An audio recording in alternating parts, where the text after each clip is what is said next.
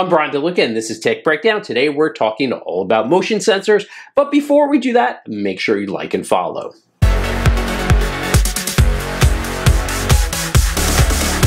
Motion sensors are essential for security systems, smart homes, and automation applications. They detect movement within a specific area, triggering alarms, lights, and other actions. Now, what is the working principle for motion sensors? Motion sensors usually operate on one or more of these particular principles. Passive infrared sensors detect heat by living beings. They are a pyroelectric sensor that identifies changes in infrared energy when a warm body moves within the sensor's field of view. Microwave. Microwave sensors emit microwave and measure the reflection off objects. Movement changes the frequency or timing of the reflective microwaves indicating motion. Ultrasonic. Ultrasonic sensors emit high frequency sound waves and measure the returning echo.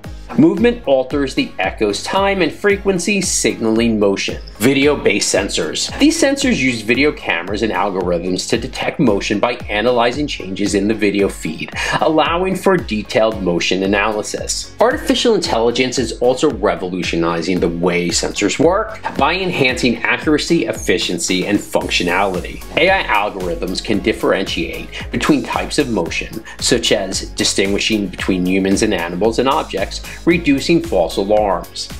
AI can also analyze patterns and predict movements, allowing for proactive measures in security and automation.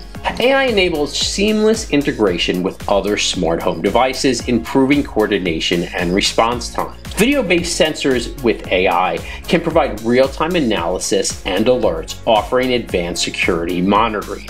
Motion sensors enhanced by AI specifically contribute to security, automation, and convenience. Understanding their principles, types, and the role of AI can help in selecting the right sensor for specific applications, ensuring efficient and effective deployment. For more on technology, make sure you like and follow, and remember to visit eedesignit.com.